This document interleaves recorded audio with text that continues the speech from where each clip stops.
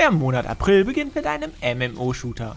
Defiance wird anders als es momentan Mode ist kein Abo-Modell verfolgen, sondern ähnlich wie Guild Wars 2 als Vollpreistitel ohne monatliche Abogebühren erscheinen.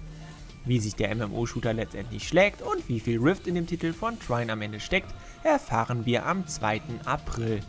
Zwei Wochen später erscheint übrigens die gleichnamige Fernsehserie, die mit dem Shooter in gewissen Punkten verbunden sein soll.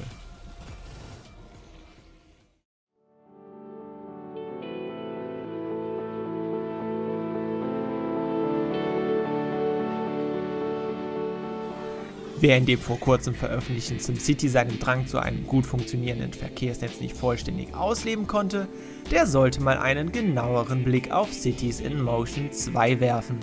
Das Strategiespiel von Paradox Interactive überlässt es euch, das Treiben auf den vielbefahrenen Straßen einer Großstadt zu planen und die Bewohner auf dem schnellsten Weg von A nach B zu transportieren. Wer nicht alleine bauen möchte, darf sich mit einem Kollegen ein gemeinsames Straßennetz errichten oder wahlweise gegeneinander antreten.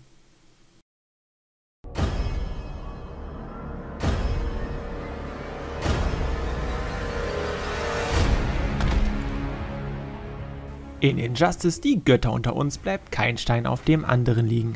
Sämtliche Superhelden sowie Superschurken des DC-Universums geben sich in Netherrealms Prügelspiel die Klinke in die Hand und hauen sich gehörig auf die Kauleiste. Laut Entwickler soll es neben den Prügeleien mehrere Stunden an Zwischensequenzen geben. Und wer den Story-Modus erfolgreich beendet hat, darf sich anschließend über die unterschiedlichsten Stages kämpfen und über allerhand Interaktionsmöglichkeiten mit der Umgebung freuen.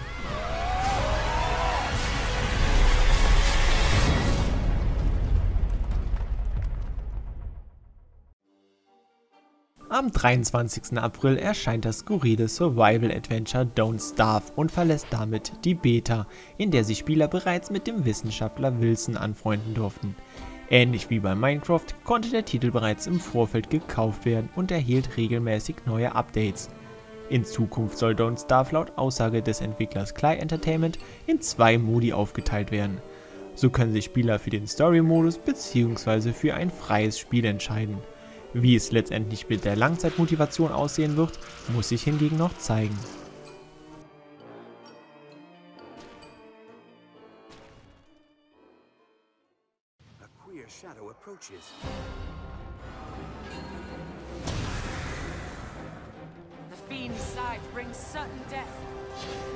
In Sachen Langzeitmotivation sollte sich Capcoms Dragon's Dogma Dark Horizon wohl keine großen Sorgen machen. Als Erweiterung zu dem erfolgreichen Rollenspiel bringt der Titel neben den Inhalten des Hauptspiels einige Neuerungen mit in das Spiel. Neben einem riesigen neuen Spielgebiet dürfen sich Fans auf neue Gegner, neue Waffen und Rüstungsteile sowie neue Missionen freuen. Ab dem 26. April ist es dann soweit und Spieler dürfen sich ihr Kettenhemd überstreifen und das Helmvisier herunterklappen, um die finsteren Dungeons von Dragons Dogma zu erkunden.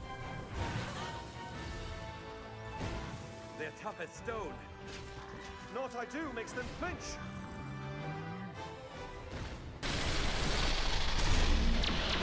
Nicht nur Fans sollten einen genaueren Blick auf das neue Star Trek Spiel von Paramount Games werfen. Neben hübscher Optik, viel Action und Hauptcharakteren, die ihren realen Vorbildern zum Verwechseln ähnlich aussehen, dürfen wir die gesamte Kampagne mit einem Kollegen im Koop-Modus erleben. Wer schon immer mal gerne in die Haut seiner Star Trek-Helden schlüpfen wollte, sollte sich den 26. April in seinem Kalender rot anstreichen.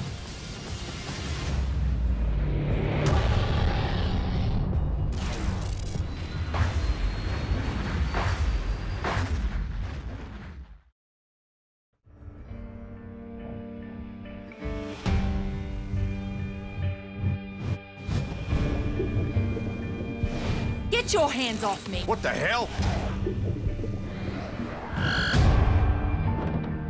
Who are you? I was a soldier before the shit hit the fan. Part of a huge humanitarian search and rescue operation. This is Colonel Hardy. The ship's been compromised. Rot sehen wir auch in Dead Island Riptide. Nachdem wir im ersten Teil des Zombie-Shooters die Insel Banoi mehr oder weniger erfolgreich verlassen haben, wiederholt sich unser Schicksal kurz darauf auf der Insel Palanai. Auch in Riptide dürfen wir wieder mit Freunden die Gegend unsicher machen und gepflegt Zombies verprügeln. Ob sich dabei Routine einstellt, erfahrt ihr am 26. April.